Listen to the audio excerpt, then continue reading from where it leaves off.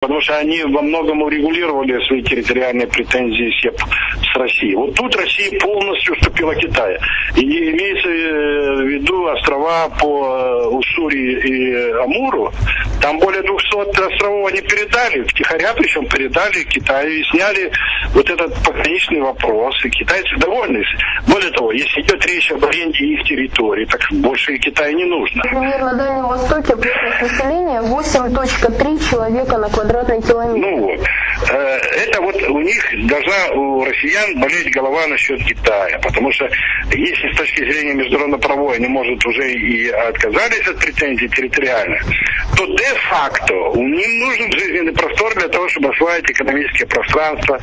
И они, вот, кстати, де-факто китайцы это делают путем совместным предприятием китайским. Появляется, ну, если э, Чайна-таун появляется в крупнейших э, городах России на, в Дальнем Востоке, ну, целое поселение китайские, где один паспорт на 4, на 5 семей. Понимаете? И вот это они будут, они фактически будут осваивать этот, потому что вакуума в геополитике не бывает. А геополитическая игра будет продолжаться. Этот вакуум будет заселяться Китай. Китай будет все время этим заниматься этим делом.